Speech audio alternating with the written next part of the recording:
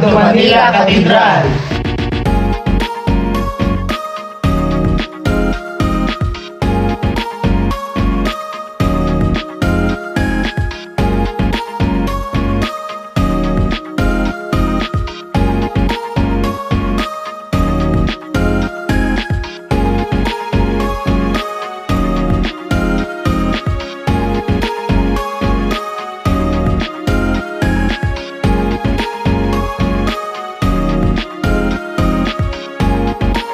Welcome to San Agustin Church!